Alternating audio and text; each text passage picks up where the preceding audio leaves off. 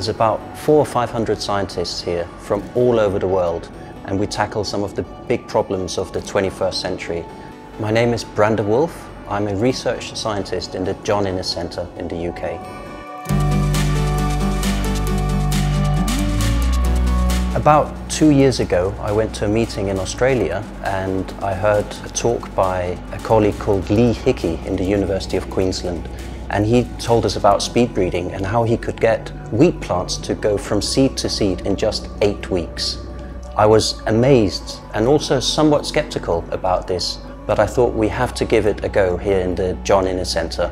There's a lot of plant scientists here and we are in a virtual race against time to breed better crops for the future. Our first results with speed breeding were in a small confined uh, growth chamber and they were very good. So good that everyone in the John Innes Centre, they wanted to do speed breeding. And we realized we had to scale up and see if we could create an environment in our glass houses where we could do speed breeding.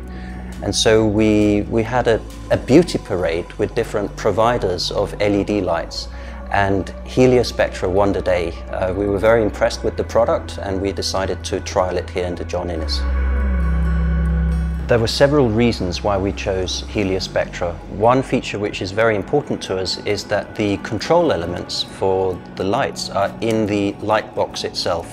That means if we decide to build a new greenhouse one day, we can easily transport the lights and install them in that glasshouse without having to build a new uh, control system.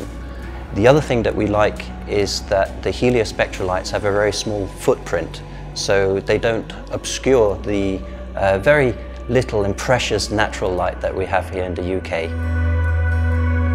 One of the challenges that we have in the John Innes Centre is that we have lots of old glass houses. Some of the oldest ones were built in the 60s and achieving uniform crop growth across all these different glass houses is very difficult. So right now we're looking at replacing our old lights with heliospectra lights and driving those lights with the helioCORE system.